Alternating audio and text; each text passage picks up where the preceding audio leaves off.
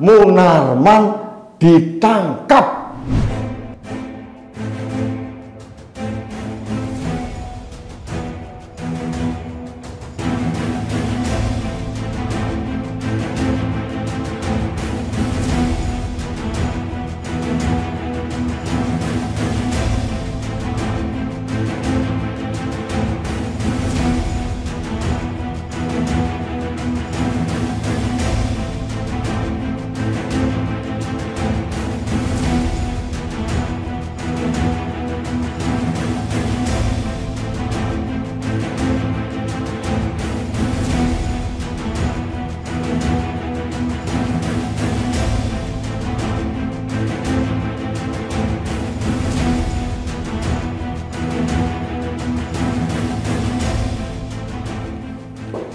Halo sahabat Indonesia, apa kabar?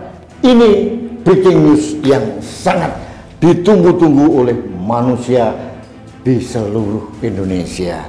Saya bersyukur, Alhamdulillah. Bukan karena baru saja saya berbuka puasa, tapi yang paling membuat saya bersyukur adalah Munarman ditangkap akhirnya. Uh, Alhamdulillah. Sahabat Indonesia, kegeraman saya terhadap ulah Munarman sudah berkali-kali saya opinikan. Mungkin tiga atau empat opini yang saya menyebut Munarman harus ditangkap. Karena menurut saya, Munarman ini adalah mastermind dari FPI. Yang lain-lain itu ngikut aja. Ya, jadi ketua umum FPI itu juga ngikut semuanya desain semuanya Munarman, termasuk masalah pendanaan juga. Sahabat Indonesia, ini angin segar. Saya akhirnya mengerti kenapa Polri begitu lama baru hari ini menangkap Munarman. Mungkin polisi menginginkan mengumpulkan barang bukti yang begitu banyak sehingga sang buronan tidak bisa berkelit dan hari ini kira-kira dua jam yang lalu di daerah Tangerang Selatan Munarwan diringkus oleh Densus 88 tuduhannya apa? karena Munarwan dianggap ikut terlibat dalam kegiatan-kegiatan terorisme yang pernah berlangsung maupun yang akan berlangsung. Mulai dari perencanaan, pendanaan dan sebagainya. Dan ini adalah oh ya Allah sahabat Indonesia saya yakin Anda pun lega. Ini adalah kabar gembira.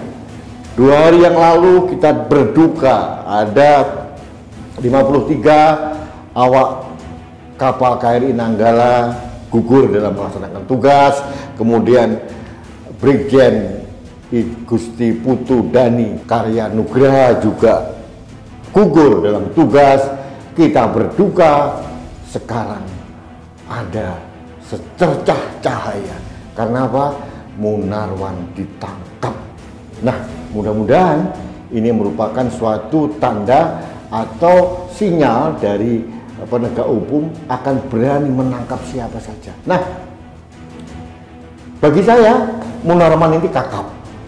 Kalau Munarman sudah ditangkap, berarti yang lain-lain itu mudah ditangkap.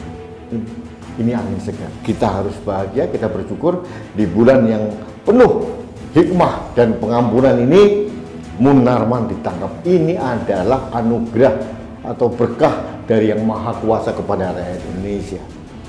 Bagi saya ini luar biasa. Kita harus mensyukuri dan kita harus memberikan apresiasi yang setinggi-tingginya kepada Polri dalam hal ini Densus 88 yang telah berani menangkap sekretaris umum FPI yang sudah almarhum namanya Munarman. Sahabat Indonesia, ini belum berakhir. Munarman terkenal seperti belut. Bukan hanya belut, belut dikasih oli, licinnya luar biasa.